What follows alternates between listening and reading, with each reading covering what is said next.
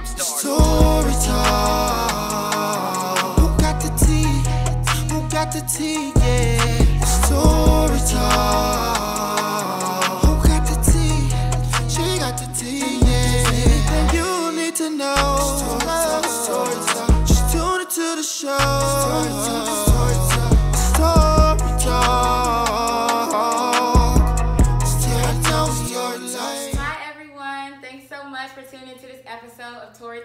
I am sitting here with Chef Anthony. How are you? I'm good. How you doing? Thank you for being on the show. Uh, it's funny because I think maybe like a year ago now, I was at a, a, a brunch and he was there and he was cooking. You were catering an event for uh, one of my friends had a uh, had an event or whatever there, and it was like, okay, this is a Japanese restaurant, so it's like we are having brunch food. So it was Mhm. like that was like the first time I saw it. And I think like after that. We exchanged and I have been like following you on social media Mhm. ever since. So congratulations on everything that you do Thank and thank you for taking it. time today. Absolutely. I appreciate you for having me. Oh, thank you so. Mhm.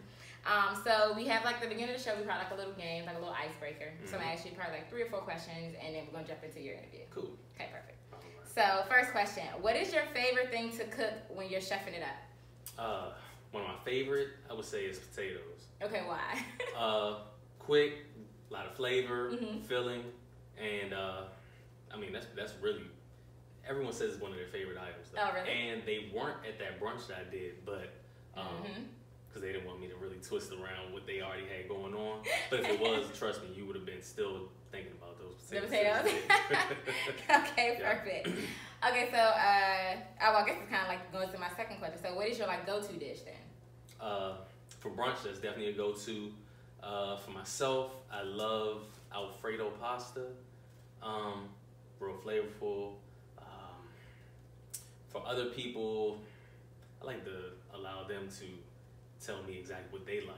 Mhm. Uh, then I'll put a twist on it. So if they say they've never had Brussels sprouts, I'll give them Brussels sprouts. Mhm. Uh, if they've never had, um, let's say, what's one thing that people say they've never had before?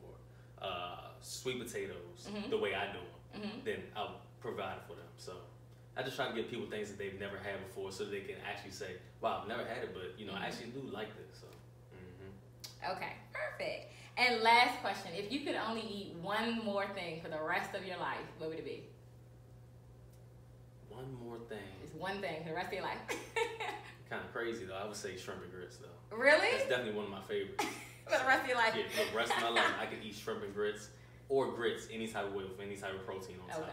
Some type of oxtail and grits, uh, short ribs and grits, uh, lobster and grits. Okay. I just actually made that for the first time this week. Oh my goodness. It was good.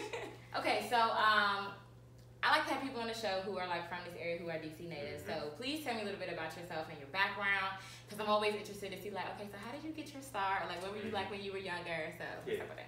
Born and raised in Mount Rainier. You familiar with it? Mm-hmm. So Mount Rainier was a place I was born and raised. Uh, went to Mount Rainier Elementary, Hyattsville Middle, Eleanor Roosevelt. You Mhm. familiar with it? In Greenbelt. Uh, attended there for I high am school. from here. I know all these Yeah, places. Hey, look, you know, I just got to like, I know everything you're saying. uh, then I went to Bowie State mm-hmm. over there in Bowie, um, BSU, Bulldogs. Um, and then after that, you know, I moved around. Once I moved out of my parents' house at 19, I lived in Bowie. I lived in Laurel Howard County side, the PG County side, and the Anne Arundel County side. Mm-hmm. And now I live in Upper Marlboro. Okay. So, yeah, I'm, I'm definitely local. Okay. Mhm. so how were you like in your early years? Like, did you used to cook then, or like how did that whole thing start? Because I know um, I used to be the guy who like actually just telling me now, like, yeah, I'm actually about to finally start cooking. But you've been cooking your entire life. Like ever since you was a little kid, you've been cooking, and now you saying, oh, maybe I should cook. Yeah. So like, how was that for you? Um, when I first got my first key, was nine years old. My mom let me start coming home, and she would tell me I could only eat like the Oreos or the Doritos. And you know, I was a mischievous kid, so I would. I seen her cook eggs and stuff for us for breakfast. I would look in the refrigerator. Uh, I make myself scrambled eggs and her to wash the thing out before she got home. and one day I washed it, but she could still smell the Oh. scrambled eggs in the house. And she was like, "You cook something?" And you know, I told her, "Yeah, I did." But um, you know, my passion came at that point in time where I realized I didn't want you know junk food that was already there. I wanted to make what I wanted to make. So Mhm. um, uh, so I started. What, what was that? Like I said, nine years old, and uh, over time, you know, I was cooking food for myself, and you know when I moved out, I couldn't get my parents' food, so fast food's never really been something I really desired. So Mhm. I would always cook for myself. I cooked for my lady friends, my guy friends when they would come over. So that, that's how it really started. So. So what would you say like when you were younger, like other than just like cooking like stuff for like actual to, to sustenance to like survive? Did you probably like figure out like when you got to a certain age, like you know, like I actually think I kind of like to do this. Like this is when I really feel like this Mhm. is my dish. I'm even though I'm like 15 or whatever. Like this is when I really started feeling like mm, maybe I like like to cook. Um, yeah, I mean, of course, when I was coming home as like 15, 16, I was making full fledged meals. Like, I was making fried chicken Mhm. at, at 15 for myself, not really for anybody else. And you know, my mom wouldn't really have no problem with it. So, like I said, yeah, I gradually started with the scrambled egg. Mhm. So that it's always something special about the scrambled egg to me. But um, you know, as time went on, I'm making fried chicken. I'm I'm, I'm broiling fish. Mhm. I'm uh, roasting broccoli. And like I said, I'm, I'm 14, 15 years old Yeah. making these full meals. So when my parents would come home and they make spaghetti on Tuesdays or tacos or whatever the case may be, and I'm like, I'm not hungry because I already ate. I've already cooked. Yeah, I've already made food. You know, and they would notice, you know, because they was doing the grocery shopping, they would see, didn't I have some salmon in here? Or did You didn't tell them. You just in here cooking no, all I'm this just in here making stuff because you know through trial and error, Yeah. I knew okay if I do it this way, and and that's how a lot of things that you know that's how I realized to make certain things certain ways. I'm Yeah. like, okay, I can make it this way. I could boil um, cabbage, or I could saute cabbage. You know, things like that and that manner. Mhm. So, um, yeah, you know, I've I've, really, I've been doing this for a long time. you know, the wrong way and the right way. Mhm. So, with or without permission. Nice. Yeah. Good to know. so, okay, so let's say like you are all grown up now, and like I guess you were out of college. So Mhm. that's when you really started to decide like that you wanted to, I guess, be a chef. Like, how Mhm. did that whole process happen? Like when you are now professionally doing this, like you do now. Because when I went to Bowie State, I was studying sociology, criminal justice. Okay. I wanted to be a forensic scientist, and still to this day, I still watch forensic files and love shows where I'd have to try to figure out stuff. But that's not the passion. You know, that's not something I truly love. Mhm. I get paid to cook, and it doesn't even feel like you know I'm working, Yeah. and, and I enjoy every minute of it. But I would say probably around like, like I said, 19, 20, when I finally moved out, Mhm. and I'm cooking and I'm preparing these meals, and people are like, this is amazing. You know, I started studying this. Okay. Uh, you know, of course, I watch Food Network, and you know, you you watch YouTube, and I'm I'm reading endless books on recipes and different cuisines from different countries, and you know, that that's something that I really I was like, this is something I really have to pursue. So, 2009 started a catering company, uh, and it was initially called De Catering and Cuisine. Okay. That's my middle that? name. Oh, okay. My middle name is De. Um, I ultimately changed it because I was like, people kept thinking De Niro was money, and you know, then I had to explain them my middle name, so I was like, let me just change it, Chef Anthony Events, Mhm. and you know, it's under an umbrella where I can provide you with a uh, pastry chef, I can provide you with DJ, florist, and you know, I built relationship with people uh, in these different uh, avenues. So, um, and of course, I do the catering and whatnot. So, yeah, I'm ten years in. Ten years. ten years in. Mhm. Okay, so ten years in. So Mhm. How would you say that like this experience has been for you for ten years? Because I've spoken to people and like one of the big things that I like to have like on the show is like, okay, I started from this, and you know, like this is like the process that I went through. So like how has it been? So you started with your, you know, other business and now you're like, okay, I'm gonna brand myself and it's gonna be my name. Like Mhm. how has this journey been? Like did you start like food truck or like in your kitchen or like how was that process? it's really one of those things that you know if in when in any business you really have to be fully dedicated to what you're doing Mm-hmm. so when people start a business i'm happy for them starting that specific business but if it's not something you're truly passionate about it's really it's really honestly pointless Yeah. but i was really passionate about this Mm-hmm. and you know it wasn't always easy you know i started out uh, doing maybe one event every three to four months or Mhm. one one event a month that's Really? it from that point in time like no back then when i first started i probably did one event that whole year Oh, I'm about to say, but you did one event a month. That's good. no one event that whole year one event a year, then, yeah. you know people were you know i'm still learning so Yeah. really everything i feel like it comes in god's timing mm-hmm. let's fast forward to year five which is 2014 Mm-hmm. uh, one event a month Okay. which is fine, you know. And I'm still learning. Okay, the cost of this, and you know what what can I purchase at this price to be able, and what how much food can I purchase so I'm not wasting food. Then I'm learning by by year six. Okay, if I played it this way, you know, if I put line all these foods up, I put all the proteins at the end, but I put all the carbs at the beginning, so Uh-huh. people know to take more of this. And I'm buying small plates so that they can put smaller portions on the plate. Then by year seven, I'm like, okay, if I arrive to the event an hour and a half ahead of time, Mhm. then I know, okay, black people always late. I can, you know, at least have everything set up. And okay, the event starts at seven thirty, but everybody's not gonna get here till eight thirty. So I'm gonna make sure all the food's hot. So I'll make sure I start really, really cooking around Yeah. eight o'clock, so that I'll have everything done by eight thirty. You know, and just just paying attention to certain things like that, and you really still learn Yeah. the the entire craft and you know the entire business every day. Yeah.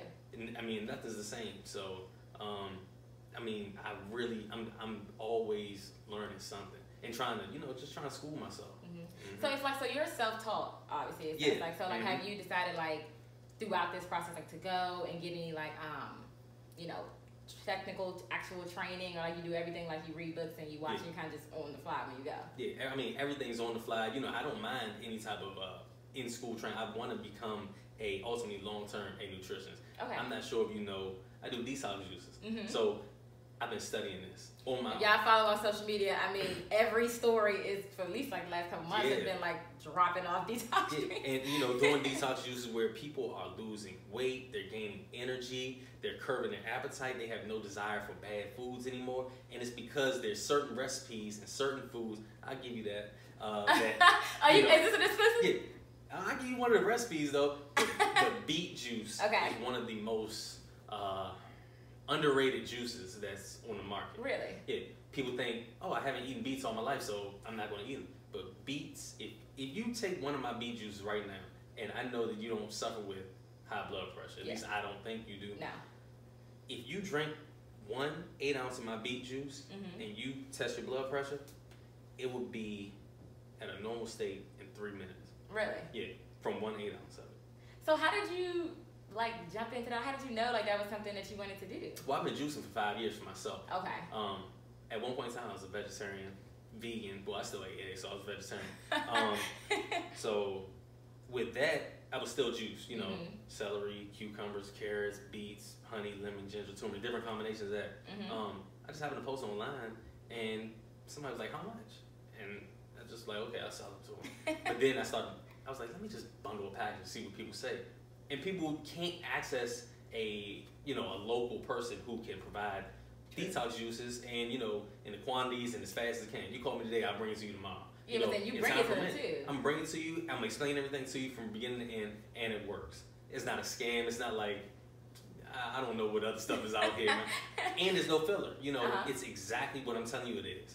Um, and then you see your friends are doing it. You know, it's just like you all can do it together. You can do it with your husband. You can do it with your, you know, your your best friends or your coworkers, whatever. So I'm just here to be able to provide people a healthier lifestyle. So So nice. So Mhm. I know you you mentioned like that you personally are healthy. So like you wrote some books and stuff. I think Mhm. about this. So Mhm. like let's talk about like your books and like now I guess you say Chef Anthony in the last like what three to four years has Three been like I think very you know successful. So Mhm. like what are your books and like how did those come about and like Mhm. what interviews have you done really and what has been like your favorite and most exciting ones thus far?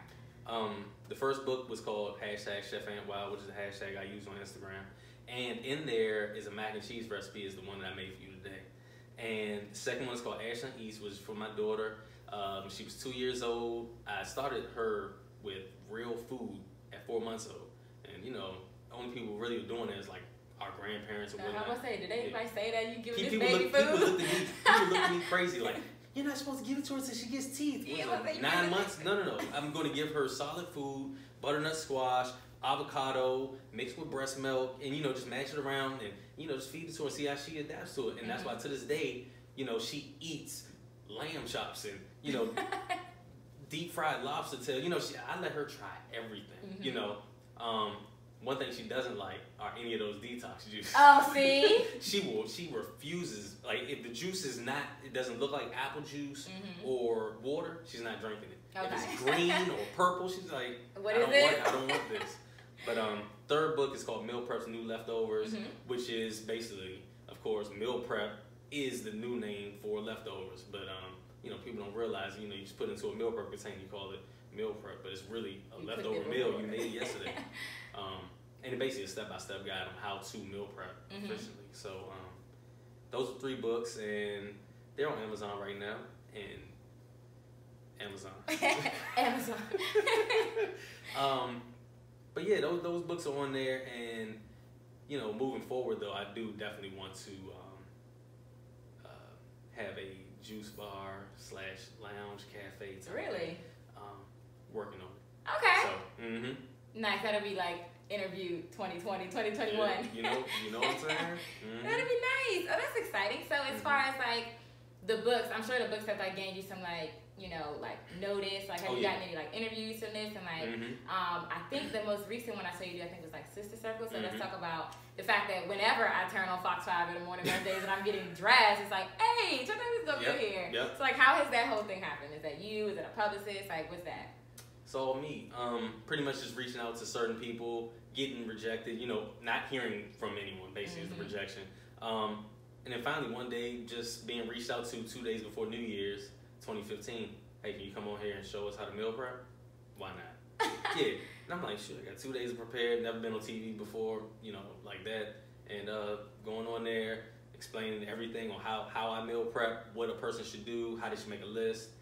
And that's what made me say, okay, I should write this next book. And it, Mhm. it took me an entire year to give people the exact steps. But in the meantime, you know, going on, every time I would do something profound, like writing the other book, I would go on there. They had me come on there for Thanksgiving to tell people, show people how to make uh, pie crust from scratch. Mm-hmm. Um, they had me come on there when Donald Trump did his correspondence dinner to basically do a parody of how he likes to put ketchup on his on everything. Oh my ketchup. Uh, yeah, A1 sauce on his steak, and they made me they let me come on there, and you know we, we just basically made fun of him for that. Um, I went on there, of course, for this latest book, Meal Prep, his Mhm. new leftovers, and you know build a relationship with them, and then you know reaching out to other places like Sister Circle. I reached out to them and was like, hey, you got a market open? I see you got a nice kitchen.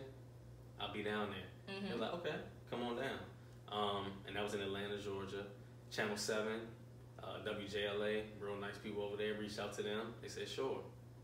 Went on there a few times. So, really, publicist is cool, but me, you as you see, and everything I told you, I'm just so hands on. I like to reach out, I like to talk to people. So, How has that been for like your family and friends? Because I know like being from here and like a lot of times like when we do have people who are from here, they don't stay, which is like a lot of the purpose of this show. Like we have a lot of talent here and a lot of people who do things, but if they are from here, they always move somewhere else. They feel like it can kind of jump off there. So mhm. how has it been like still being here and being local and your family and friends like, hey, like I just saw you in the news, but I can maybe see you down on your street like walking around and like interacting with people or like, oh, family's like, oh, look at Anthony on the news. like how's that been? Now you definitely notice it's, it's like a more higher respect level that people have for you. Like even even your family, Mhm. like they'll go from, yeah, you you Hollywood now. You know, nah, I'm not Hollywood. Nah, I'm, I'm still the same guy who you can still text. Mm-hmm. Two years ago, you text now to this day, and I'm still gonna respond. You know, Yeah. and just always remaining humble because, like I said, I've watched myself, you know, gain this through hard work. But like, I know the Lord can take it from you in an instant. You know, because I've seen people rise to the top and fall back down. You're like. Quickly. Yeah, I'm talking. I'm talking about celebrities, rappers, entertainers, and you're like, dang, I forgot they made that song. You know, but Yeah. at one point in time, they were really hot. Mhm. You know, and you just never thought that they would fall off. And I'm just like, that could be me. So as long as you remain humble, Yeah. you know, they they always never they never fall off. So. Well, good. mhm. So so far, like with the success stuff that you had, and like you're constantly trying new things. What would you say, like your favorite like clients have been, and, like your favorite experiences thus far? Because I imagine from like what ten years, like you've had like an array of experience. What would you say would be your favorite? My favorite. I like everyday working people. Really? Yeah. Um, you know, celebrities are cool, you know, but they they they pay money the same way the next person, or sometimes they don't pay money or feel like they're entitled to. Because I've had celebrities write me and ask me for meal prep and ask me for events, Mhm. like, and I'm like, hey, hold up, I heard this name before, and I would go Google, and I'm like, oh, you're a Latin singer, you know, and I'm like, so I'm corresponding, and here's the price, and no response. So I'm like, okay. So I don't get to necessarily meet you or do the event, Mhm. but in a sense, I really don't want to do it because you thought that I was going to do this for free because of Ain't that crazy name. though? No, you got a, the money. It's a and you don't lot wanna pay. It's a lot. It's a lot. I don't got no money, and I'm like, okay, well, just let me write this down. Let me save my money, pay this I'm talking about Like, multiple millions of followers, and I've seen you travel and Yeah. events, and you know, okay, you you're uh, IG. What do they call those women? Uh, Influencer? yeah, influencers and models. And Models. like, okay, but I still have to charge you one thirty five for the meal Like. You know, but it's still the same price. Though. Yeah. I mean, and you know, it's not really always about the money, but I mean, I really. mean, it's a business too, and it's still like, c- celebrities don't move. I like everyday working class people because we're all human and we all, you know, we work hard for what we have. And, you know, there's no freebies out here. You work hard to get your money to pay for a service from a small black business just like me. Because the same way I go to a small black business to support them, and I'm not going to ask them for a discount. hmm isn't that crazy to you though? Like I felt like you know with like we know we have an events planning company or whatever, and it's like people who know us, I feel like always have something to say about the prices of the stuff that we have, and Mhm. like we try very hard to make sure we're like matching the market and all that. Mm-hmm. But then they'll go to someone else that they don't know, and then they'll tell them an astronomical price, and it's just like, oh, but this is what it is, and you pay it. But because Mhm. you know me, or because you know that we're a small black business, it's Mhm. like you don't want to do it. Have you If I was, experienced a lot I of was that? in Tyson's 2 with a restaurant and you knew me, you would say, hey, I can't get a discount. But you wouldn't walk into that Maggiano's and say, yeah, can I get a discount? Or uh, what's one of those high-end restaurants? Uh, The ones in you would not walk into RPM downtown and ask for a discount. hmm And ask, can I get a discount on this bottle? But you'll, you'll ask your own brother, the one who looks like you, for Yeah. a discount. And that's a problem to me Yeah. you know, or like a clothing store, you'll ask for a discount from a brother, but you won't walk into that Gucci store or that Bally store and ask for a discount on them six hundred dollars shoes. Yeah. You'll spend six hundred on the shoes, but you won't spend two hundred dollars on on your own brother's shoes, hmm and that's a problem It is. in our own community. You know, as as one, like we don't feel like we're valued high enough. hmm You feel like the other man is Yeah. more, you know, more valuable than ourselves, hmm and they know that. Yeah. Mm-hmm. So with your working class folks, Mm-hmm. what was your favorite one that you've done for people who are just like us? My working class folks. What's my favorite event? hmm that you've done. Hmm. There's probably been so many. Yeah, I mean, it really, it really is a lot of them. Um, I've done slumber parties for, for women, and you know, I mean, the, all all my events are fun. no, I So, imagine. I mean that one stuck out because uh, I mean, uh, we really put on our Sunday's best. You know, put on our dress clothes, and I, you know, my me and my team, and um, uh, let me. I want to find one for you. yeah. Uh, I can't because I, I enjoy all of them. Mhm. And, and this this is probably the best example I can give you.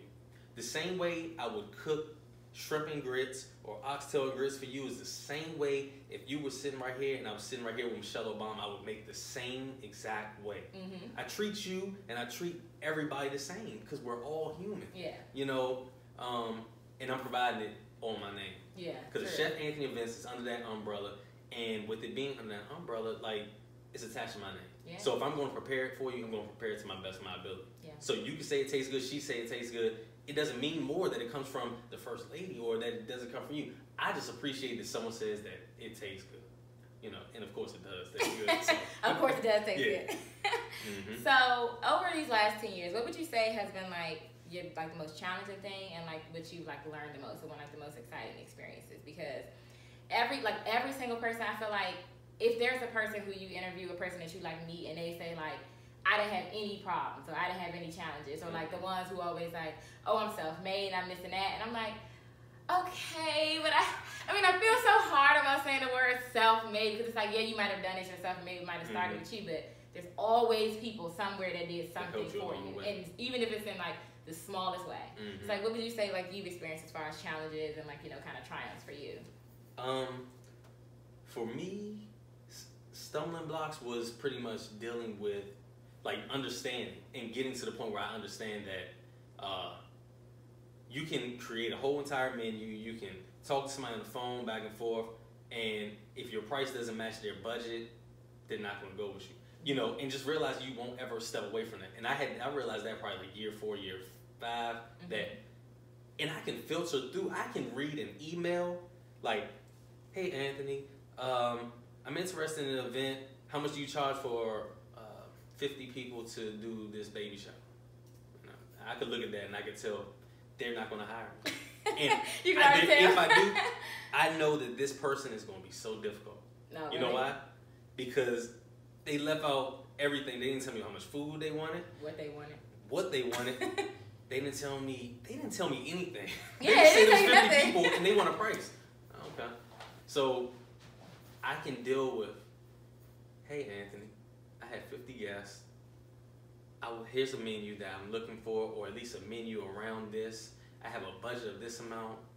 Can you tell me what type of um, what what can you do with me? Can we work with this? hmm You know, I'm like, at least you gave me something to work with. Yeah. And that person is the toss up. You know, just being able to, I can read an email and tell the seriousness of Yeah. an individual, you know, for an event. That way, I'm like, I don't really, you know, now there's always somebody who will throw you a loop. You know what I'm saying? Like, you're like, I don't know, they serious. And then they end up being serious. You're like, oh, wow. So they really were serious the whole Uh-huh. time. So, um, I think that was that was really something that frustrated me because at first I'm sitting there responding. They like, you send me a menu, I'm making a menu, and then no response.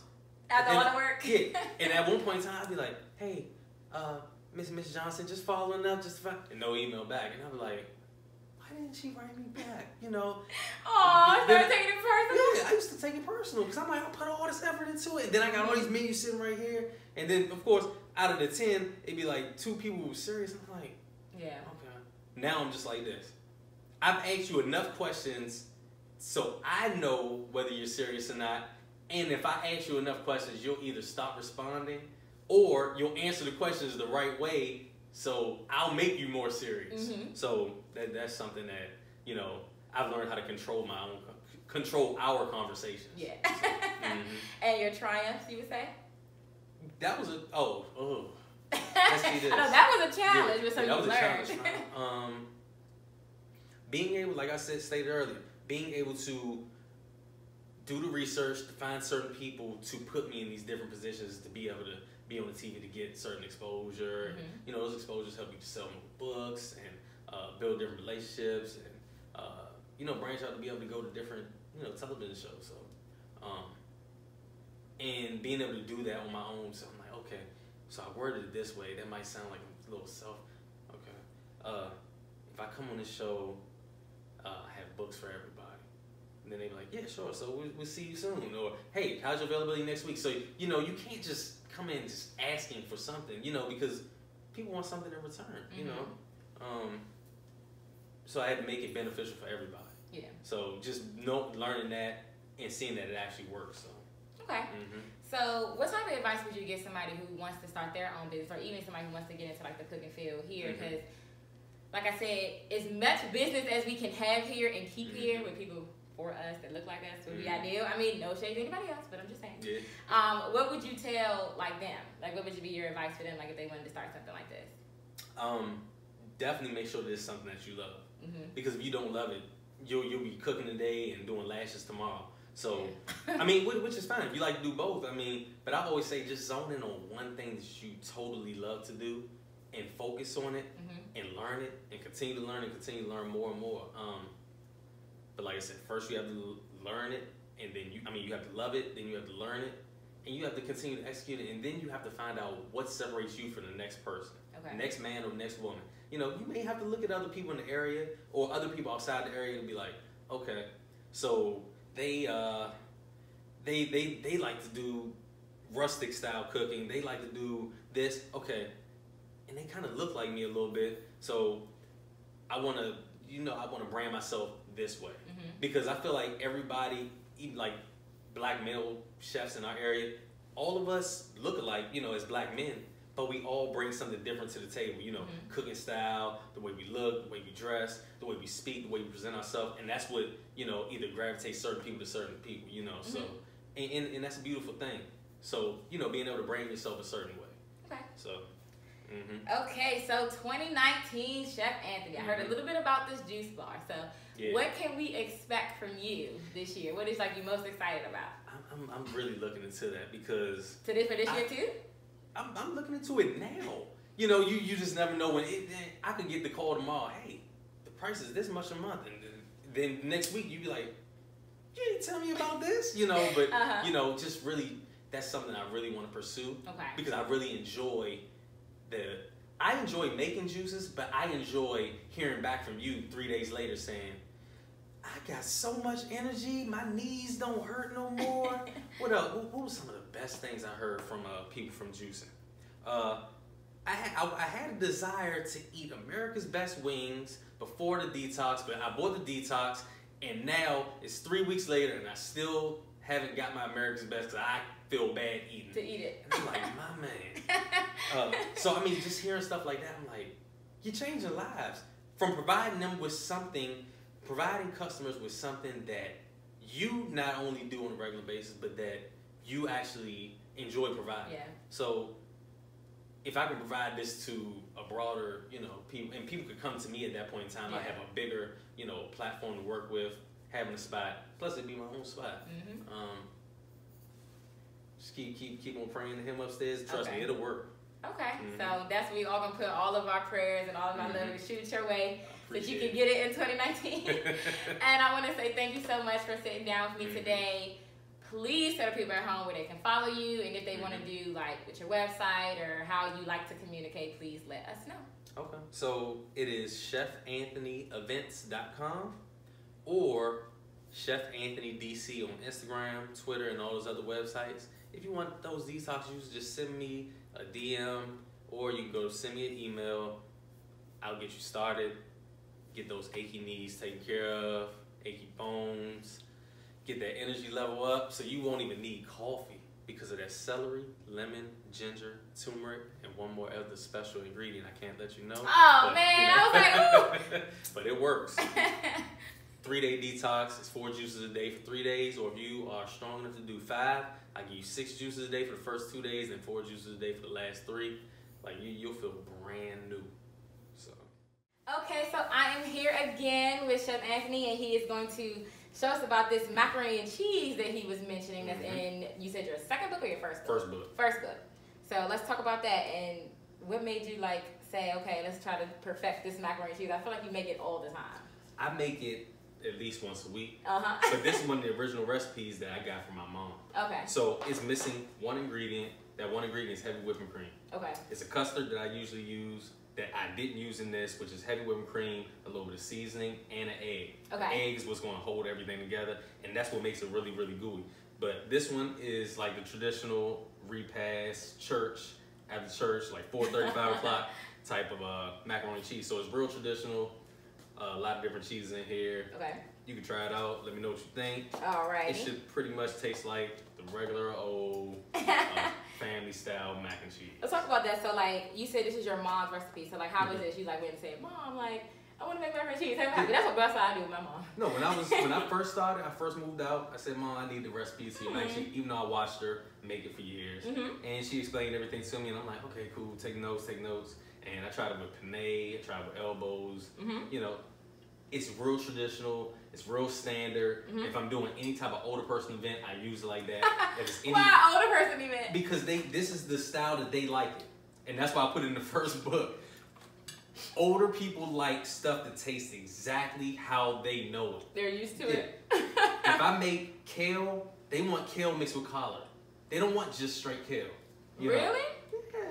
They want everything to be traditional Mhm. so i keep everything traditional so this is traditional mac and cheese Mm-hmm. so if I was cooking for you and your friends, you guys are under 30, I'm Mhm. putting that custard in it. If there's no custard, I'm not making Put it. the custard Yeah, in. it has to because if you'll notice the difference. Mm-hmm. This one, if I go like this, Mhm. you see just the cheese. Yeah. If I did it for you, you would see like this. It's like Oh, okay. like an elasticity, and it's real like creamy Uh-huh. and still um, baked Okay. at the same time. So there's a difference between the two mac and cheeses. There's Okay. levels of mac and cheese though. I mean, I see. I'm like, Yeah. you, so do you feel like that happens to you a lot when it comes to like people who they may be asking for the same thing, but they kind of are looking for it a different way? Absolutely. Because Really? even like, you know, I cook for Caucasian people. Mhm. They don't want their macaroni and cheese baked. They want it made just like this, except me making it in the oven.